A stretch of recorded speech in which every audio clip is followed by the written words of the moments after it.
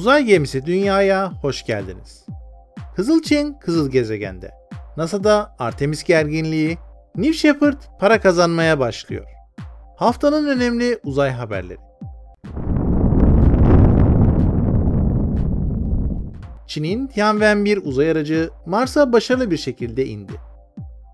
Çin Halk Cumhuriyeti tarafından Mars'a gönderilen Tianwen-1 uzay aracında bulunan iniş aracı ve adını Çin Ateş Tanrısı'ndan alan Jurong rover'ı 14 Mayıs günü başarılı bir şekilde Mars yüzeyine indi. 2020 yılının Temmuz ayında Çin'in ağır yük roketi Long March 5 ile Mars'a gönderilen Tianwen-1, Şubat 2021'de Mars yörüngesine girmişti. Arada geçen zaman sırasında Mars yüzeyi hakkında incelemeler yapan araç, yaklaşık 240 kilogram ağırlığındaki rover'ın iniş bölgesi arayışını tamamladı. Araç, Mars yüzeyinde eskiden su bulunduğu tahmin edilen Utopia Planitia bölgesinin güney kesimine iniş yapmak için manevralarına başladı. Mars atmosferine giren kapsül, daha sonra yavaşlamak için paraşütünü açtı. Yavaşlayan kapsülün ısı kalkanı görevini tamamladığı için bu aşamada atıldı. Mars yüzeyine yaklaşan iniş aracı, bu sırada yörüngede belirlenen iniş alanının uygunluğunu üzerindeki kamera ve diğer algılayıcılarla kesinleştirmeye başladı.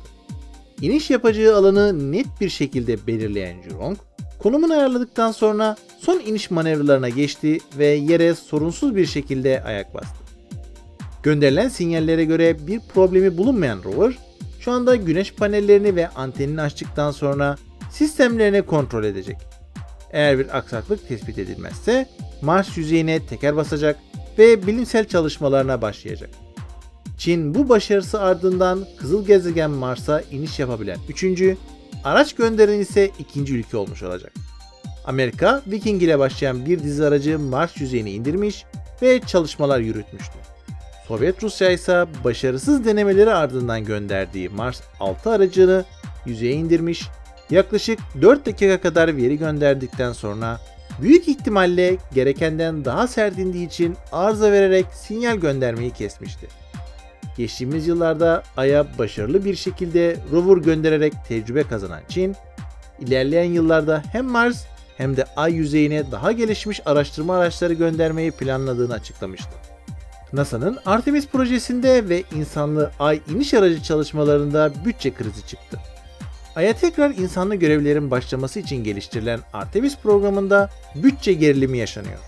Programda önemli bir ayak olan insanlı Ay iniş aracı ihalesini en uygun fiyatla SpaceX'in almasının ardından rakip firmalar Blue Origin ve Dynetics ihalenin iptali ya da tekrar değerlendirmesi hakkında itirazda bulunmuştu. Yapılan itiraz Amerikan Kamu İhale Kurumu tarafından incelenirken projenin ekonomik ayağında bir başka gelişme de Amerikan Senatosu'nda yaşandı. Blue Origin'in merkezinin bulunduğu Washington eyaleti senatörü tarafından verilen teklifte NASA'nın Çin'in uzay çalışmalarıyla rekabet edebilmek için ay yarışında en az iki firma ile çalışması gerektiği söylendi ve bu amaçla NASA'ya Artemis programında kullanılması için 10 milyar dolarlık ilk bütçe ayrılması talep edildi. Teklif eğer Senato ve Başkanlık tarafından kabul edilirse ihalenin yenilenmesi gerekebilir. Bu da zaten zor olan 2024 yılında insanla ay inişinin gerçekleştirilmesini büyük ölçüde zorlaştırır.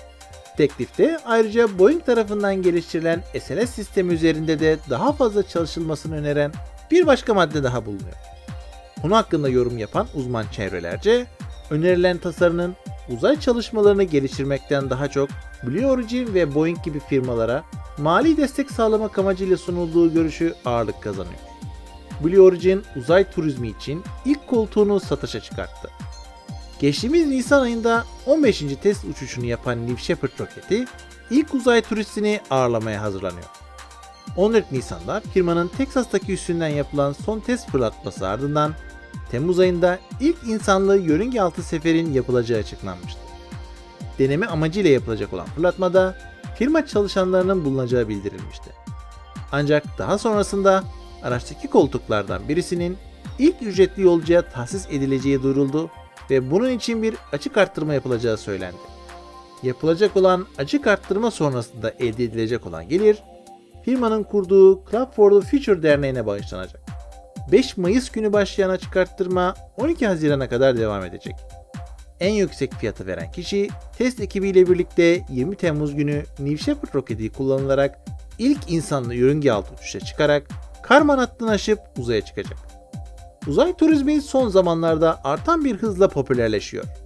Virgin Galactic ve Blue Origin gibi firmaların yaptığı yörünge altı seferlerin yanında alçak dünya yörüngesine yapılan turistik seferler de artmakta. Bu sene dünya yörüngesine son 20 yılda çıkan uzay turistinden daha fazla turist ziyaretçi olarak gidecek. Gelecek hafta planlanan uzay uçuşları. Gelecek hafta kalkış tarihi yayınlanmış iki uçuş bulunmakta. 17 Mayıs Atlas 5 Geo 5 görevi. Florida'daki Cape Canaveral uzay üssünden yapılacak olan fırlatmada Amerikan Uzay Kuvvetleri'nin kullanacağı füze erken uyarı sistemine ait bir adet uyduyu yereşlenik yörüngeye oturtacak. 20 Mayıs Long March 7 Tianzhou 2 görevi. Çin'in Bengchang Uzay Merkezi'nden yapılacak olan fırlatmada Çin Halk Cumhuriyeti'nin yeni yörüngeye oturttuğu uzay istasyonuna kenetlenecek olan bir adet insansız Tianzhou ikmal aracı alçak dünya yörüngesine fırlatılacak. Uzay gemisi dünyanın sunduğu uzay haberlerini izlediğiniz için teşekkür ederiz. Videomuzu faydalı bulduysanız lütfen beğenin. Uzay ve uzay teknolojileri ile ilgili haberlerimizi kaçırmamak için kanalımıza abone olun.